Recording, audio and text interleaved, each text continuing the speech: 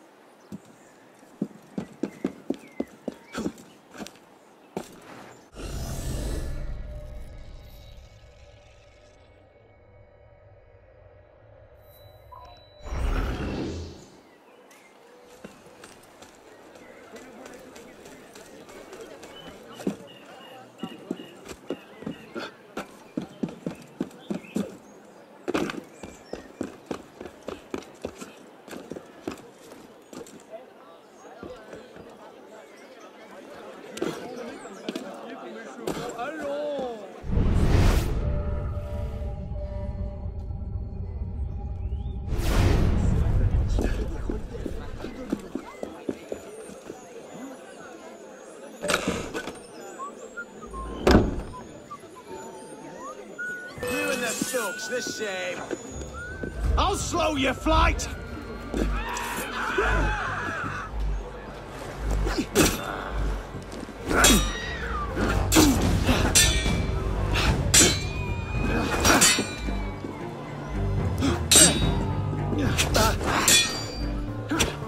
Vous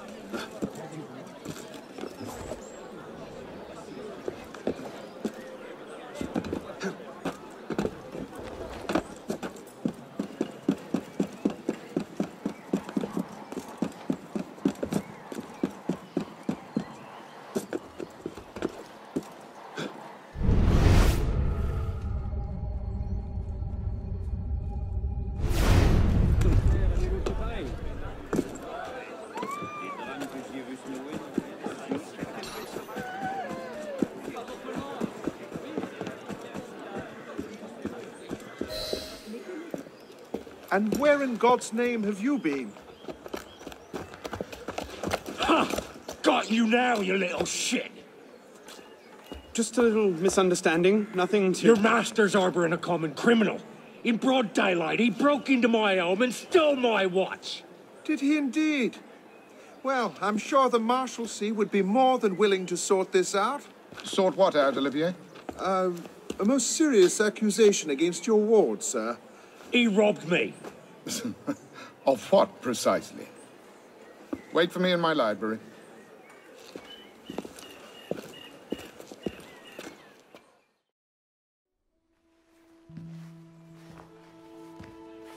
Don't give me that look. Victor cheats when he plays Pharaoh. Everyone knows it. Arno? Who are you talking to? No one, monsieur. You'll be happy to learn I persuaded Olivier to leave off calling the Maréchaussée. Again. Je vous remercie, monsieur. What is this? The sixth time? The seventh? Perhaps a new hobby might be better for your health. Well, I find playing cards affords many opportunities for fresh air and exercise. We'll talk about this later. I have business in town and must collect Elise before I can attend to it. Elise is here. Only for the night. She returns to Paris first thing tomorrow. She'll need an escort. Won't she with you so preoccupied? One of you running amok is quite enough. Remain here and see if Olivier has any chores for you. Sure he does. What was that? Give my regards to Elise.